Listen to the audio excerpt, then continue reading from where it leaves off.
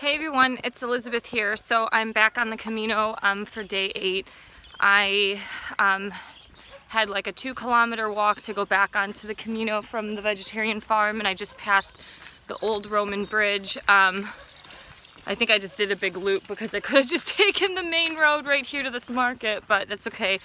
I left the vegetarian farm this morning and after walking out of the gates I had like a 20 minute kind of an emotional meltdown just because um, I don't know it was such a nice and beautiful experience I'm I'm not even sure like the reason for some of the tears. Um, the lady that's tending the farm, she brought me a homemade baked loaf of bread.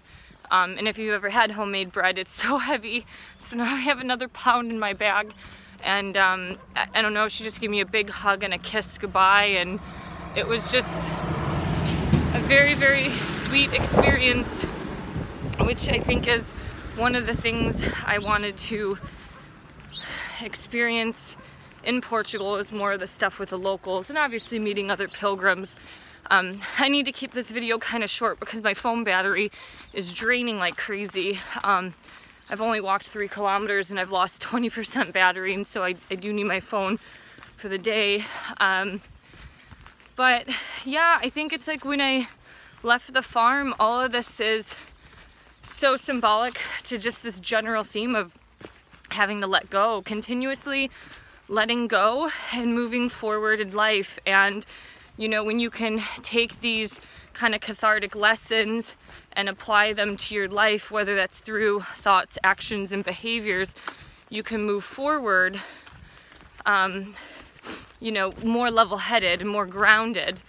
And the one thing that I guess I'm enjoying about this experience thus far is I don't know, there's people with soul, you know. I actually have only met one human being so far. He was kind of like an older German man who said he was here for spiritual reasons. He did the Camino Frances I think last year or the year prior, and he said he started for sport and ended with spiritual reasons. So the way or the reason he's doing this is because of um, spiritual reasons, and that's the same for me as well.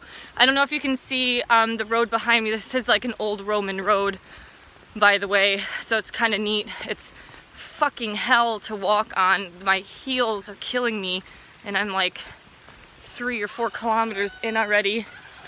Oh wow, look how pretty this is. Um, so, you know, it, it's just interesting why we're all here for different reasons. Um, but yeah, I don't know. This is this is a very deep spiritual change that I'm not even sure how to really explain or express because things just naturally organically change and I think so many people are stuck and the way that I have helped myself a lot is not only through spiritual tools and tasks or theories or programs, whatever, but just getting out of the comfort zone and exploring a new place. I really think this is one of the best ways to heal yourself is going kind of through these like cathartic experiences. And I have more thoughts on letting go, but I do need to save my phone battery.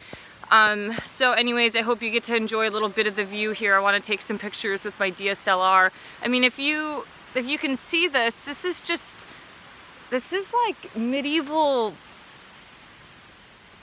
land. It's just so ancient. It's like the way these trees grow and how everything is just in its natural setting. Um, I honestly, I don't know how I'm going back to Seattle. I leave Portugal today. I'm seven days in, well basically day eight, but um, I'm a week into walking. I walk into Tui, Spain today, and then I have basically a week of walking in Spain, um, and the weather's turning shit next week. So, I don't know. I'm gonna savor every moment of this country because these people have been so nice, and although I've met people like other pilgrims, um, not as many as I wanted, but I don't know, the locals here, they're just, they won't let you die on the trail. They've, they've been, all of them have been so helpful at every place I've been to. And it's, that's the endearing, sweet act of kindness that I guess a lot of us spiritual hippies talk about. And I think I I get sad is because kindness can be a weakness as well and people take advantage of that and the business world is cutthroat. I, I don't know. It's like people have soul here. You know, some Europeans, they have soul left. And I don't want to bash my country. I don't want to bash America because the reality is America's soul has been sold. I mean, if money is the root of all evil, we're chasing around money, sex, all these different things that all you need to do is just live your life and see the world and things naturally change. It's a way better teacher than any college education could ever give you. And that's what I'm sad about. It's the socially engineered soul that has been sold. And I noticed this big shift in the new millennium. But these are just some thoughts. I gotta go. Bye.